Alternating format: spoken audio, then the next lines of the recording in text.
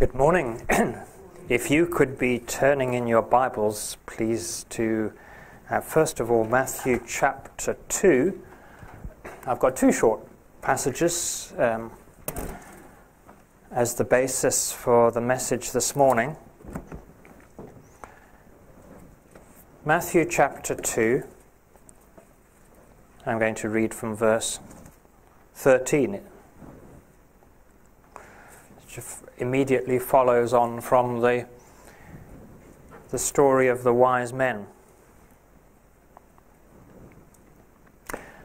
Now, when they had departed, that's the wise men, behold, an angel of the Lord appeared to Joseph in a dream, saying, Arise and take the child and his mother, and flee to Egypt, and remain there until I tell you for Herod is going to search for the child to destroy him. And he arose and took the child and his mother by night and departed for Egypt, and was there until the death of Herod, that what was spoken by the Lord through the prophet might be fulfilled, saying, Out of Egypt did I call my son. Then, when Herod saw that he had been tricked by the Magi, he became very enraged and sent and slew all the male children who were in Bethlehem and in all its environs, from two years old and under, according to the time which he had ascertained from the Magi. Then that which was spoken through Jeremiah the prophet was fulfilled, saying, a voice was heard in Ramah, weeping and great mourning, Rachel weeping, weeping for her children, and she refused to be comforted because they were no more. And the second passage is in the next Gospel, which is Mark, and in chapter 10,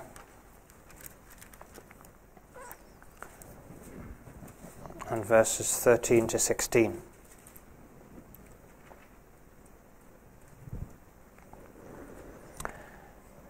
And they began bringing children to Jesus so that he might touch them. And the disciples rebuked them. But when Jesus saw this, he was indignant and said to them, Permit the children to come to me. Do not hinder them for the kingdom of God belongs to such as these. Truly I say to you, whoever does not receive the kingdom of God like a child shall not enter it at all. And he took them in his arms and began blessing them, laying his hands upon them. Let's pray before I speak on. We're very grateful, Father God, for the gift of your word, even when it uh, speaks of things which we find uncomfortable. We pray that your Holy Spirit would uh, now crown that gift by opening our minds and our understanding to your word and to what is on your heart. And we pray that we would be responsive and obedient people. We ask it in Jesus' name. Amen.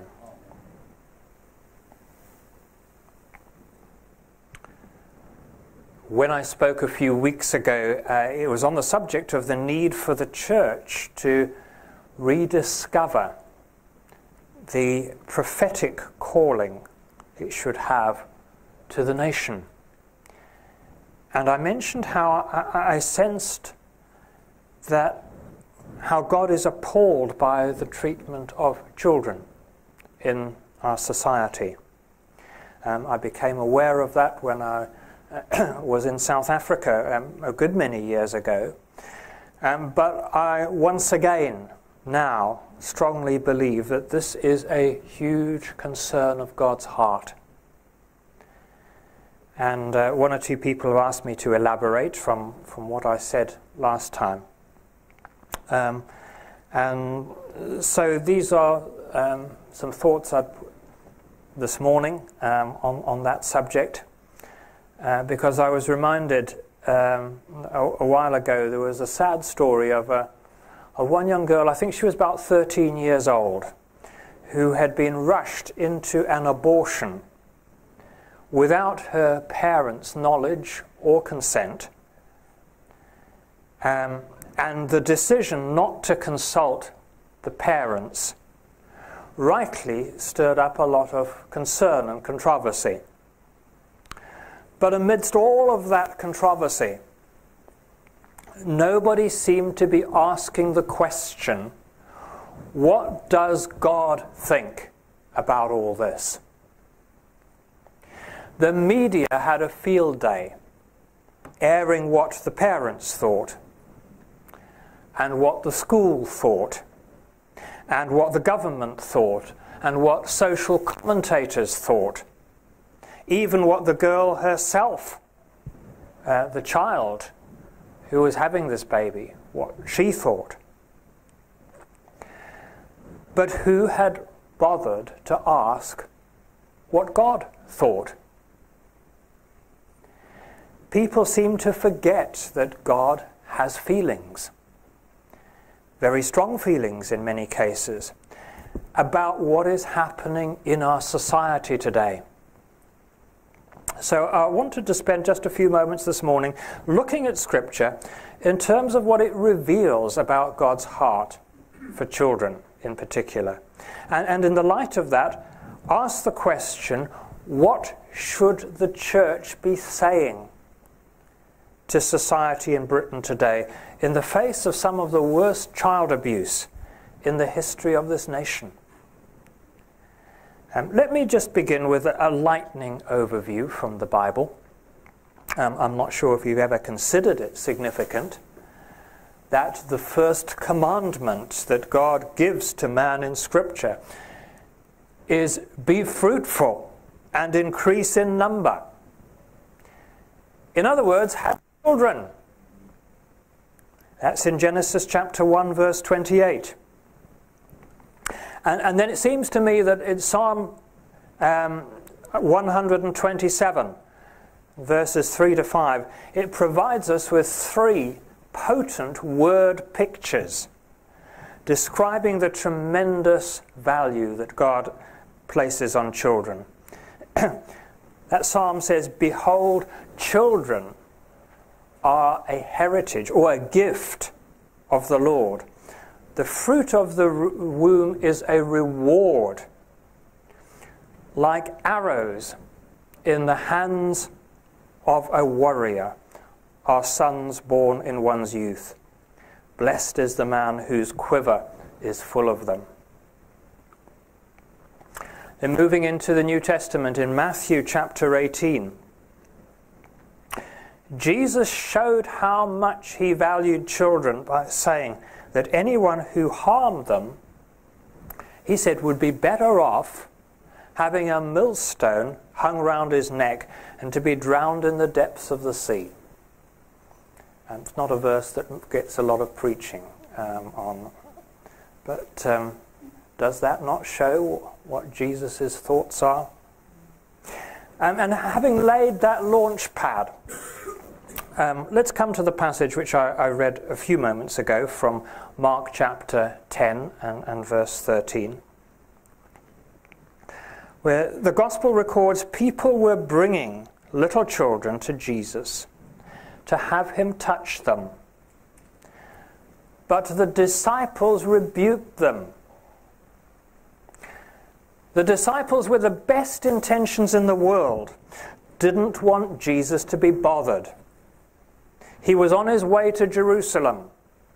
He was on his way to the cross. He was going to establish a kingdom. And, and babies, well, they weren't that important. They hadn't got a place in all of this. After all, I mean, they, they didn't have the qualifications. They weren't fully mentally developed. They couldn't understand the teaching. They, they're not physically strong. They couldn't follow Jesus everywhere. Surely you need to be an adult to follow Jesus. That's what the disciples were thinking. And if, if you glance back to the beginning of the chapter, you get the context. Because the disciples were having a very important theological discussion. It was on the topic of divorce. And that's not something for children, it's an adult matter. So when these parents were intent with their babies for Jesus to bless them, the disciples tried to sort of fend them off. Uh, now, to understand that the, the, the, disciples were not really being callous or, or, Victor Meldrew type figures who just disliked kids, um, I, I, think we need to unsentimentalize uh, this scene. Our society, uh, until comparatively recently, valued children. And the likelihood is that we, having grown up in that kind of culture, um, uh, we read about this event through the lenses of 20th century values. Um, for we believe that virtually everybody loves children, don't they? Uh, including Jesus. And uh, this is why he wants to pick them up for a little cuddle. This isn't quite what is going on. You see, in Jewish society then, children, as children, were not that well thought of. They were valuable in the sense that they continued the family name and they assured that the family kept the property when they, they, they grew up and when they, um, they'd provide for their parents um, in their years of dotage. But otherwise, little children were nobodies. They didn't have any great status, any standing. They'd achieved nothing, and they really didn't have much to offer except dribble. And so the disciples thought, here is Jesus, he's heading on his way towards Jerusalem. He's got this mission of establishing the kingdom, which they hoped would result in a palace and some government positions for them. And so the disciples were gearing themselves up to become people of importance. And Jesus doesn't want to be delayed and bothered by some pesky little kids. They're nobodies. And so, no uncertain terms, they let the parents know this. They rebuked them. And when Jesus saw this, we're told he became angry, indignant, livid, actually. But why? Well, Jesus tells us in verse 14 he said to them, Let the little children come to me, and do not hinder them, for the kingdom of God belongs to such as these.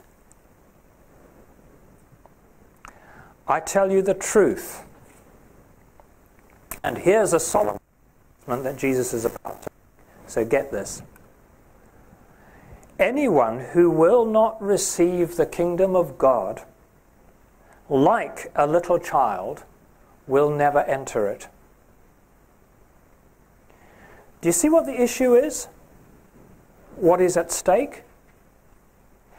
It is all to do with entering the kingdom of God, inheriting eternal life. Jesus says, let them through. Children are very important. You've got your ideas all wrong. Your idea is children can't have any of this until they're like us as adults. I say you adults can't have anything of what I'm talking about until you're like these children. It is a total reversal of ideas. We live in a sophisticated adult world. But Jesus still says, with all of your sophistication, you need to become like children. To such belongs the kingdom of God. You see, our ideas are so sophisticated. We've all got to be terribly grown up and terribly intellectual.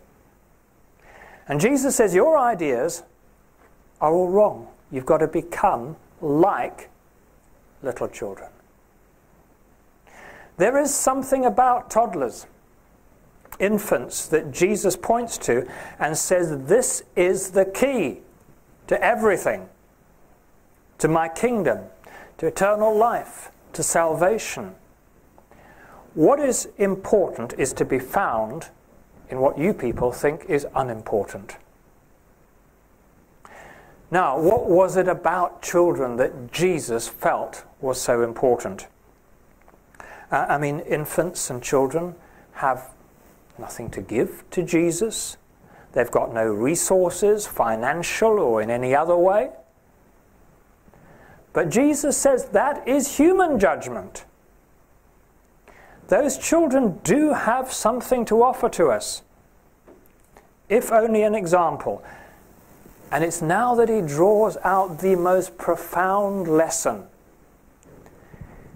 It's not their innocence or their purity that Jesus talks about here, because we sadly pass on to our children our own human nature, don't we?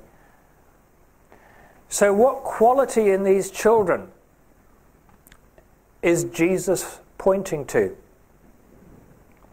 Well, I, I think there are four things in a child you'll find in every child that you will need before you get into the kingdom of God. And here they are. Number one, first of all, you need an open mind. Have you noticed how a child is prepared to believe anything? They've got a wide open mind. The older that we grow, the more we close our minds. The more we want to argue, the more we want to say, ah, I don't believe that. But a little child, if you tell them something, they'll accept it.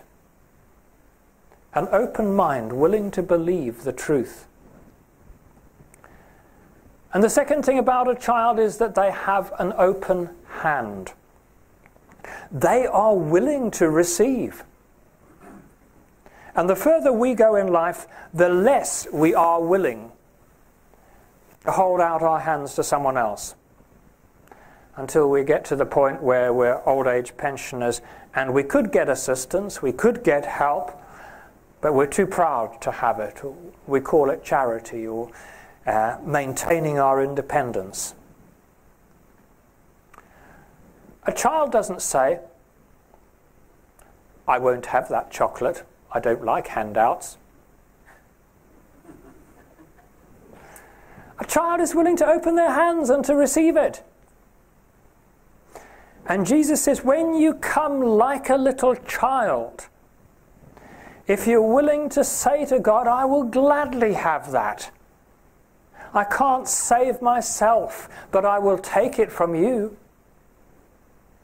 Then the kingdom of God opens right up for you. That's the second thing. But the third thing about a child is that, they also have an open heart. If you try and love a child properly, the child will respond to you in love. If you try and love an adult, well, they might say, oh, I wonder what their motive is. I wonder why they're doing that. You see, we get suspicious. We're let down by people. We stop trusting them. We become cynical sometimes and resentful. A little child doesn't think like that. As it grows older, sadly, with the experiences of life, a child's heart can begin to close up and the adult mindset sets in. But a fourth characteristic of children, particularly infants, is that they cling. A baby instinctively knows that it's helpless. The human baby is actually about the most helpless of all the species on earth. We need looking after so many more years than almost any other species of life on earth.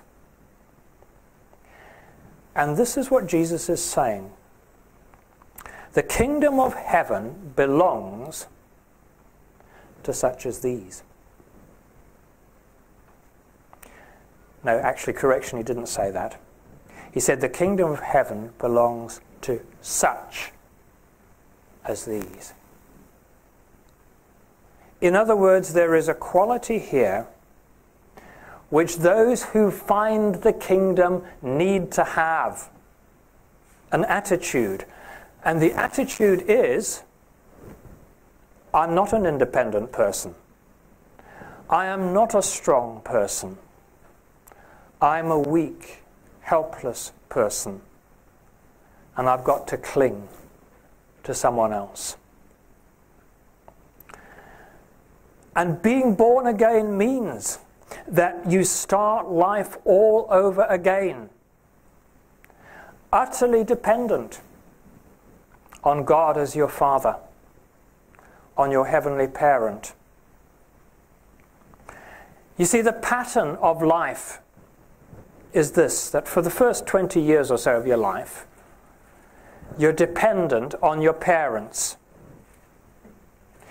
but it is right that you should ultimately become independent of them.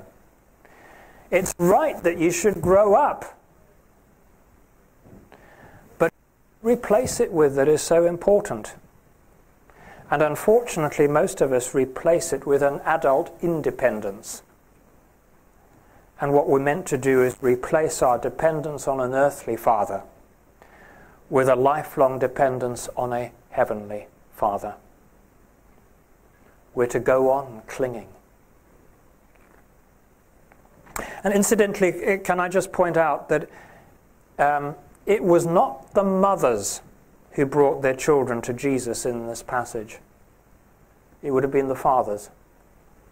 Um, the adjective that's used here is masculine. Um, it is a reflection, I think, of our day and age that every hymn which has been written about this event in the sort of 19th and 20th century era talks about the mothers of Salem bringing their children to Jesus. But all the way through the Hebrew scriptures, it is the fathers who blessed their children. From Noah blessing Shem and Japheth, to Abraham blessing Isaac and Jacob blessing his sons, who then became the fathers of the, the 12 tribes of Israel. These types of spiritual blessings were very important in Jewish culture.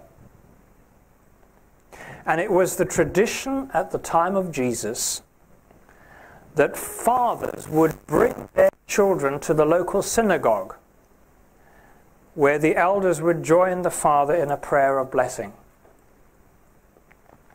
And as Jesus was considered to be a rabbi, this would be entirely consistent with that custom. And there's an interesting contrast, I think, to be found in this story that Jesus touched the children when he blessed them put his hand upon them. Because that is something that the scribes and the Pharisees never did. They made it a point not to touch people at all because they believed it would defile them. religiously speaking. Jesus never held himself back from people in that way. And, and I mentioned this um, and want to lay a certain degree of stress on this. In God's sight, the father of the house is responsible for the spiritual upbringing of his children. And in, in 99% of, of homes outside the church, I find that the father, if he's there at all, takes not the slightest interest. That it's left to the mother to do everything, anything religious for the children. And that is a complete reversal of God's plan. Every father will be held responsible for the spiritual development of their children. and before I further reply, I think what Scripture is showing us about God's heart for children, um, I just want to turn to that one other, uh, to one other Bible passage, which is in Matthew chapter 21, verse 14 where it says, The blind and the lame came to Jesus in the temple, and he healed them. But when the chief priests and the scribes saw the wonderful things that he did, and the children crying out in the temple, Hosanna to the Son of David, they were indignant and they said, Do you hear what these children are saying? And Jesus said to them, Yes, have you never read?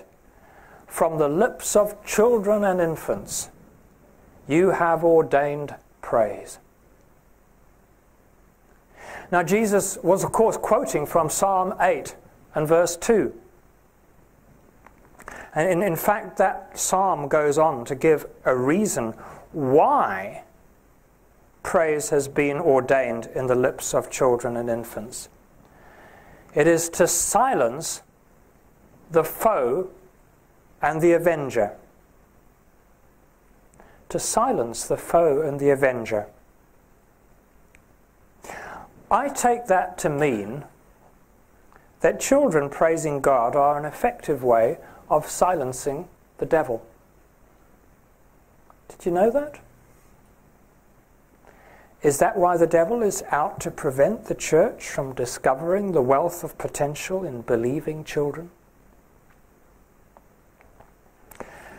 And I believe that at this present time, God is speaking to the church prophetically to tell us about his concern for children.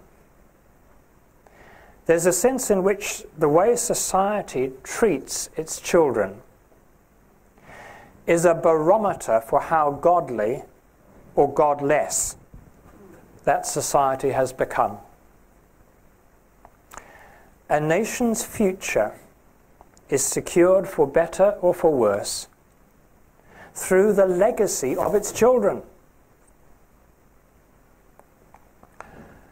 And I, I, want to conclude today by simply drawing your attention to what has been happening to our children in the last few years. I did say a minute or two ago that our 20th century culture generally valued children. But I have to say, I don't think that is any longer the case in the 21st century. Take abortion for a start. Why is a germ considered to be life on Mars, but an unborn baby in the womb isn't considered to be life on Earth? And the number of children who have been killed before they even ever got a chance to draw breath is staggering. But not even in our churches do we ever hear much said about it. Much of the church is apathetic and indifferent to it. It's like the genocide in the Christmas story when Herod killed all the boys under two years old. Nobody ever mentions it. It doesn't feature in our observance of Christmas. It would spoil things. You see, it is all too easy, especially when it comes to how we think about Christmas. Um, we, can, we can be tempted to think of Jesus as if he sort of hovers above the brokenness of our world, as if he is sort of somewhat detached and disconnected from it, uh, and, and keeps it at arm's length one way or another. Matthew's gospel reminds us that if we view Jesus that way, then we're not seeing him as he is. The Son of God himself came into this world as a child. A child who was on the hit list to be destroyed in a genocide. And that means that Christ is truly engaged with and at work in this broken world right now. He cares about what is happening here, and he cares enough to do something. Because it doesn't stop with abortion. Child sex trafficking is another appalling abuse that is pretty much ignored it's controversial. It can upset race relations. So the government, the police, social services say and do virtually nothing. And now we have the whole transgender movement, resulting in children being pressurized through the school curriculum to question their God given identity generating confusion and all sorts of psychological problems. And that's before we even get to the damage of these last two years, where we've enforced mask wearing so that children can't read faces and learn to communicate without impediments We've closed schools, we've cancelled exams, we've forced children into isolation, telling them that if they didn't behave, they'll kill granny. And so now we're told that the NHS has seen a monumental rise in children attempting suicide, children self harming, children with anxiety and mental health problems and now children have become the target for the COVID vaccines. When we were constantly assured that children were in an at risk category. But now they have to be vaccinated to protect the adults. They've become human shields. We bribe them, we entice them, we coerce them, and I don't even think about the long term consequences. What sort of society sacrifices its own children's health and well being for some kind of notional risk reduction for adults? A journalist actually wrote recently that it might sound cruel, but a small number of deaths might be worth it. That's the mindset. But the grown ups are meant to protect the children. That is how civilized society ought to behave. When World War II broke out in 1939, in the first three days, Operation Pied Piper moved one and a half million children out of the cities and towns that were deemed to be at most risk from bombing and they were evacuated to the countryside. That is how society used to behave. And if Christians can't be in the forefront of seeking to protect the children, then our society is indeed lost. That's what's on my heart this morning. Test it, please because the Bible requires any alleged prophetic utterance to be tested by the yardstick of God's Word and God's heart. But my own sense that we are in something as demonic as King Herod when Jesus was born. And it's only the Church of Jesus Christ that can challenge that in the power of the Holy Spirit. I'm not offering a blueprint as to how to go about that, but whatever form it takes, I believe that Scripture calls us as a church to see the world as it really is, that we might see Christ as he really is that we might see our lives and the calling on our lives as they really are. It will entail investing prayerfully, spiritually, and actively in the deepest concerns of God's heart. And with that recognition, as we see this reality more and more, it should galvanize us the more to engage with the world as it truly is, to cling to Christ as he truly is, and to live as Christ's body as we were truly meant to, and to press forward to the crown of life that we will truly receive through his grace when we become like little children and enter the kingdom of God. Amen.